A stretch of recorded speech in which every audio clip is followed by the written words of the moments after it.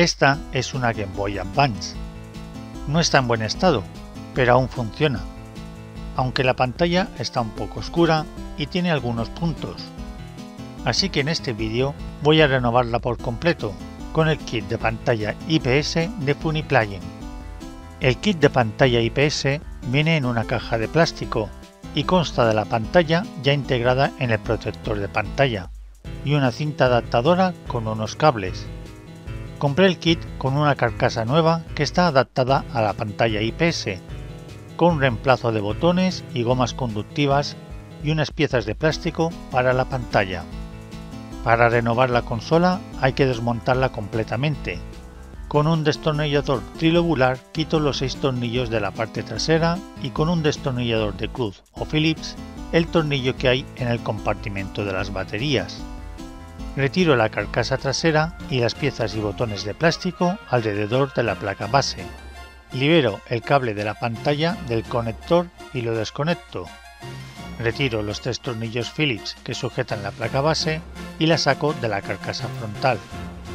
Aprovecho para hacerle una pequeña limpieza a la placa base. Ahora sigo con la carcasa nueva y la pantalla IPS, la parte frontal de la carcasa tiene un gran hueco para el protector donde se coloca la pantalla IPS y me aseguro de que encaje completamente. Después coloco la cinta adaptadora conectándola a la pantalla y asegurándola con un poco de cinta aislante. El adaptador tiene dos cables para la placa base, uno de 40 contactos y otro de 32. Como la placa base tiene un conector de 40 contactos, pongo aislante en el conector de 32 y lo doblo hacia la pantalla para que no estorbe en el resto de la instalación. Con un trozo de celo pegaré el sensor táctil al cristal para que funcione correctamente. Para terminar con la pantalla coloco una pieza de plástico que la mantendrá en su sitio. Antes de colocar la placa base voy a soldar unos cables entre esta y el adaptador de pantalla Sueldo uno de los cables incluidos en el kit en el punto marcado con una L en el adaptador por un lado y en el punto TP9 de la placa base en el otro. Luego un cable desde el punto R hasta el punto TP8 y finalmente desde el punto Select al punto TP2 de la placa base. Estas son las únicas soldaduras que hay que hacer en la instalación. Antes de continuar, ordeno los cables para que no se queden atrapados entre los botones. Pongo en su sitio la pieza de plástico del indicador de batería y los botones de fuego. Después las gomas conductivas. Retiro un trozo de plástico que tiene la carcasa en el conector del puerto serie. Y por último aíslo las soldaduras con un trozo de cinta aislante. Giro con cuidado la placa base hasta colocarla en su sitio y la aseguro con tres tornillos que vienen incluidos en el kit. Con cuidado conecto el cable de la pantalla al conector de la placa base y lo aseguro con sus cierres. Antes de instalar los nuevos botones L y R, he de colocarles su pieza metálica que hace la función de muelle. Después los coloco en su sitio junto a los embellecedores laterales y el botón del interruptor. Cierro la consola con la cubierta trasera y la aseguro con sus 7 tornillos. Retiro la pegatina de la carcasa antigua y se la coloco a la nueva. Y termino quitando el protector de plástico de la pantalla. La pantalla se ve muy bien, con los colores saturados y muy nítida desde cualquier ángulo. Al tener la pantalla más resolución que la original, los píxeles se ven perfectamente esto es tanto un punto a favor como en contra. Las imágenes ganan en nitidez, pero también se pierde el efecto de la pantalla original, haciendo la experiencia más cercana a un emulador actual que a la consola original. La modificación habilita un menú en pantalla al que podremos acceder manteniendo pulsado el botón Select unos segundos, mostrando cuatro opciones de configuración. La primera opción nos permitirá cambiar el brillo de la pantalla, que tiene 15 niveles y podremos cambiarlo con los botones L y R. Pulsando Select cambiaremos el modo de color. Podremos elegir entre estándar, brillante que quema demasiado los colores, escala de grises como la Game Boy Pocket o escala de verdes como la Game Boy clásica. Estas dos opciones tienen más sentido cuando se usan en juegos de Game Boy. La tercera opción es el modo de pantalla. El primer modo es el estándar normal. El segundo aplicará un pequeño desenfoque que fusiona los píxeles.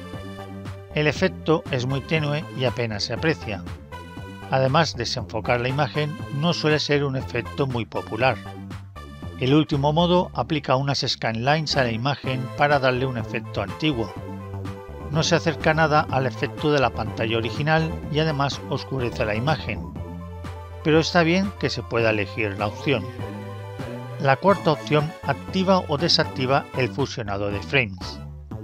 La consola no realiza transparencias, por lo que algunos efectos se consiguen con un parpadeo muy rápido, como se puede ver con la aplicación 240p Suite. Tendréis que ver el vídeo a 60 fotogramas por segundo o ponerlo a velocidad lenta para apreciarlo. Con la nueva pantalla el parpadeo se hace evidente y molesto, pero activando la opción el parpadeo casi desaparece. Yo recomiendo activar la opción, ya que la pantalla retiene la imagen que parpadea como se puede apreciar aquí, y resulta bastante molesto. Pulsando el botón Select unos segundos se cerrará el menú en pantalla. Con el sensor táctil también es posible acceder al menú en pantalla. Manteniendo el dedo unos segundos aparecerá el menú.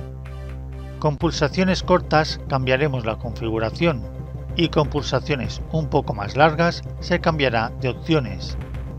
Esto significa que no es necesario soldar los cables durante la instalación para acceder al menú en pantalla, pero es más cómodo mediante los botones. Con pulsaciones cortas en el sensor iremos rotando los niveles de brillo de la pantalla. Con el brillo de la pantalla al máximo, la consola ahora consume sobre 0,9 vatios, unas tres veces el consumo de la consola con la pantalla original.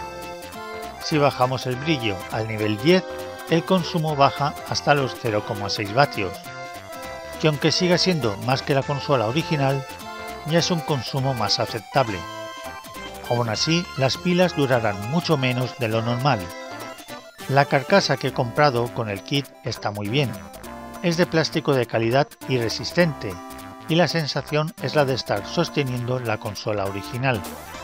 Si se va a comprar la pantalla IPS, recomiendo comprar también la carcasa preparada, pues habría que hacer mucho trabajo modificando una carcasa original para poder instalar la pantalla. Renovar toda la consola con este kit no es muy difícil, e incluso no es necesario soldar ningún cable, pues se puede configurar la pantalla con el botón táctil. El precio del kit con una carcasa es de 60 euros con envío incluido en la tienda de AliExpress. Un poco más si se quiere un estilo personalizado.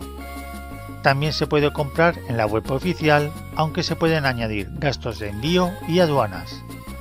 Para renovar una consola en mal estado pero funcional no tiene un precio excesivo y tanto la pantalla como la carcasa son de buena calidad. Dejaré enlaces en la descripción. Gracias por ver el vídeo. Si te ha gustado, compártelo y suscríbete